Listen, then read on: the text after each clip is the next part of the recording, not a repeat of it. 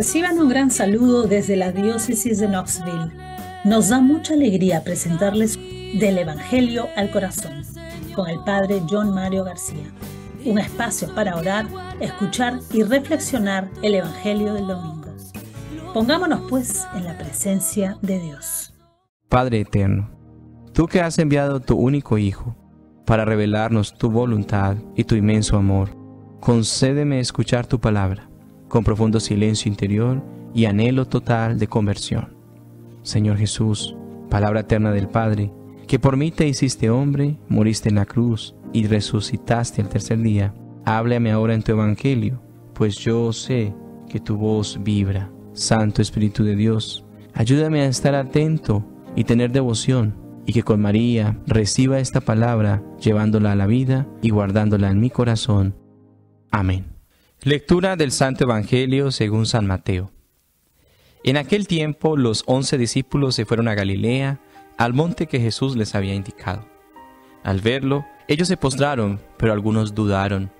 Acercándose a ellos, Jesús les dijo, Se me ha dado todo poder en el cielo y en la tierra. Vayan pues, y hagan discípulos a todos los pueblos, bautizándolos en el nombre del Padre, y del Hijo, y del Espíritu Santo enseñándoles a guardar todo lo que yo les he mandado. Y saben que yo estoy con ustedes todos los días hasta el final de los tiempos. Palabra del Señor. Gloria a ti, Señor Jesús. Queridos hermanos, en este día de hoy celebramos la fiesta de la solemnidad de la ascensión del Señor, que destaca y subraya un aspecto muy importante, un acontecimiento, una realidad del único misterio de la Pascua, la muerte y resurrección de Jesucristo. Cada domingo cuando celebramos la Santa Misa, al profesar nuestra fe, decimos, subió al cielo y está sentado a la derecha del Padre. Todos los cristianos sabemos que no se trata de un mero cambio de lugar, se trata de un cambio de modo de existencia. Jesús acaba su vida en la tierra y vuelve al Padre. Su resurrección no fue una vuelta a la vida anterior, es decir, a esta vida. No fue como un paso hacia atrás, es un paso hacia adelante definitivo en la vida eterna. Es el paso de la gloria. En esta fiesta de hoy, por tanto, nosotros exaltamos la glorificación de Cristo, exaltamos la glorificación de su naturaleza, a pesar de que ha sido humillado en la cruz y condenado a muerte. Desde esta verdad, este hecho, los cristianos de todo el mundo, todos los seguidores de Jesús, conocemos nuestra meta final, estar donde está Jesús. Ese es nuestro sueño y nuestro anhelo, nuestro destino. En definitiva, todos los seres humanos, todos, tenemos y sentimos una nostalgia del cielo, porque nada en este mundo nos llena, Aspiramos a estar en la gloria, vivimos aquí el anhelo de encontrarnos con Él, disfrutamos todo lo que nos da en este mundo, pero expresamos nuestro deseo de encontrarnos con Él algún día. La ascensión completa el círculo de la vida de Jesús. Son sus últimas palabras, el mensaje definitivo. En el Evangelio de San Mateo, que hoy se proclama y lo sitúa en Galilea, y es que Dios sigue estando y haciéndose presente en los lugares donde se desenvuelve nuestra existencia y en la vida de cada día. Galilea fue el escenario del encuentro y la vocación de los primeros discípulos del Señor. Y Galilea es también el lugar donde son convocados ellos nuevamente, sus seguidores, para encontrarse plenamente con Él. El Señor los restituye en el mismo lugar donde los llamó.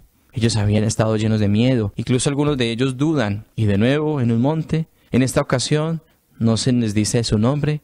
Cristo se ha mostrado tal y como es en este monte. Les deja un mensaje central allí, les da las bienaventuranzas y ahora los envía a una misión, allí en el monte de Galilea. Jesús se despide de sus discípulos y les recuerda la síntesis de todo el Evangelio. Les manda y les envía a predicar y a hacer discípulos con la siguiente promesa. Yo estoy con ustedes todos los días. Jesús comenzó su vida con ellos diciendo Dios con nosotros, el Emanuel, y la acaba prometiendo quedarse siempre con ellos y con nosotros, todos los días, hasta el fin del mundo. Jesucristo en su mensaje no puede ser más contundente.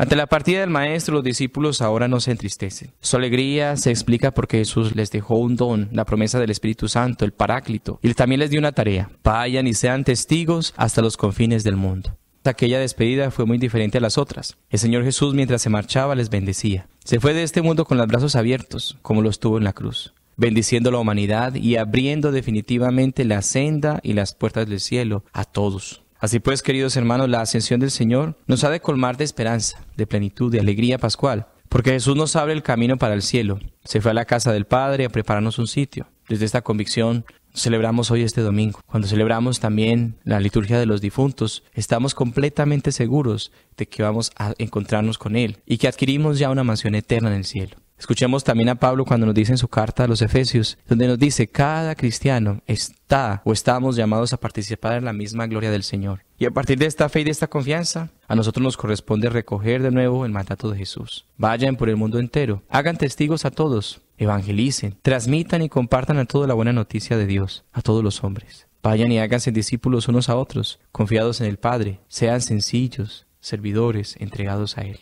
Queridos hermanos, a veces nos puede la debilidad, nuestras limitaciones. A veces dudamos de nuestra fe, somos frágiles, pero contamos con la gracia, con la garantía de Dios, con su promesa. Él no nos deja solos. El Padre y Él se quedan con nosotros y nos envían su Espíritu para que more en medio de nosotros. Podemos decir ahora nosotros que el cielo está aquí en la tierra, porque donde está Él y está el Padre, está el cielo. Mirar el cielo es mirar la tierra. Es ascender, pero también es crecer. Es ir arriba, pero seguir mirando abajo, a los hermanos. Es soñar, aspirar a la plenitud de lo más humano, también porque es lo más divino, que somos cada uno de nosotros. Preguntémonos, queridos hermanos, ¿vivimos la alegría y la confianza de encontrarnos con Jesús? ¿Estamos seguros de que nos ha dejado una compañía, que ha estado con nosotros y que está con nosotros? La experiencia del resucitado y de la resurrección del Señor nos ayuda a crecer cada día más como cristianos, como personas, como buenos ciudadanos. Nuestra Madre María nos ayude para que podamos seguir creciendo nuestra fe. Así sea.